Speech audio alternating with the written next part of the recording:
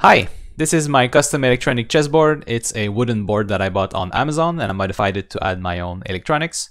The pieces are just plastic pieces, 3 inch king, um, that I modified to add some weight and also add magnets. And then this is the computer that goes with it. Um, the computer is in charge of all the logic and also Wi-Fi communication to Lichess using the Lichess API. So there's one cable here that goes to the board so I can control the LEDs and read the magnetic sensors and one cable goes to um, just USB power. I can start games in a couple of different ways. The first one is using this screen here. I can send the game seek to Lichess using different time formats, or I can play against the computer at level 1 just to demonstrate. So it sends the game seek to Lichess, receives confirmation, says I'm playing white, otherwise I would have had to rotate the board.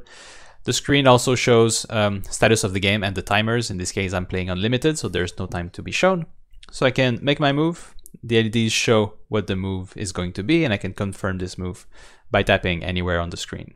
Opponent plays their move, I receive the move, and the LEDs show what the move is. So I can just play this move myself and then move on with my own move.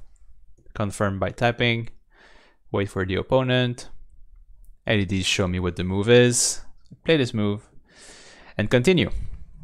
If I try to play an illegal move, and send that to the server, it's going to ask me to uh, undo that. The screen shows me where the pieces should be, and the LEDs show me which squares are uh, in the wrong state. So that makes it very easy to put the, the, the board in the correct state.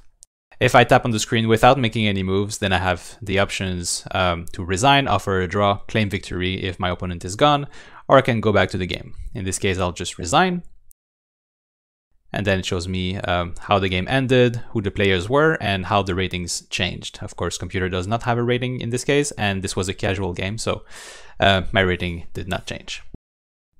I can also start games from the Lichess website or the Lichess app. Here I'm starting a, a, challenge on the website to a different account, and you can see the computer is always listening for new games coming in, so it detects the game, tell, tells me I'm playing white, and then I can play this game on the board. So if I make my move here, and then I have the opponent make their own move.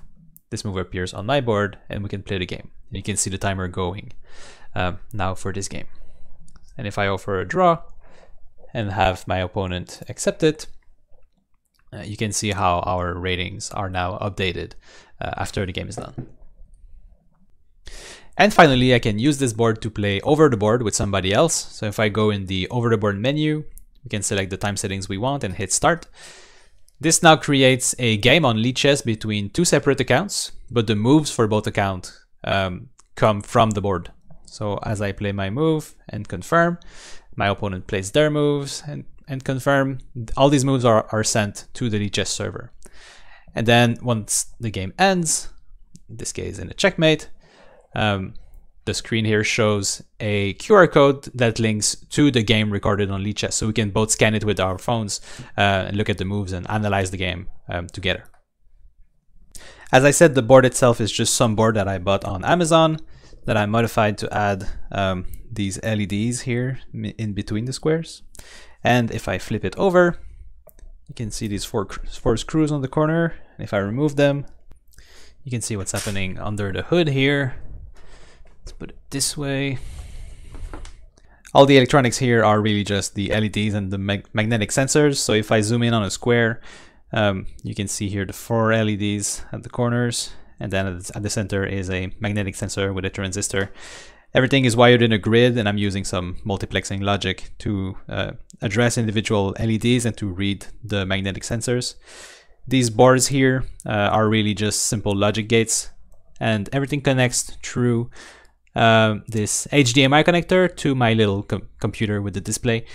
Uh, I needed, I think, 18 pins for my design, and HDMI happens to have 19, so it was a convenient connector for me to use. And then the little computer itself with the display is uh, just a 3D printed case with a power switch and a uh, button I use for debug to the side here. And then at the back is the HDMI connector to the board and USB power to power the computer. The computer was designed in Fusion 360. You can see the display, the two buttons on the side here, and then the connectors at the back. Um, and I have four screws to remove at the bottom to access the uh, interior components. If I remove the top and bottom cover, You can see the inside and the microcontroller is hiding somewhere in here. This is a ESP32 with a dev board that has uh, integrated Wi-Fi capabilities that made everything uh, very simple. So that's it. Thanks.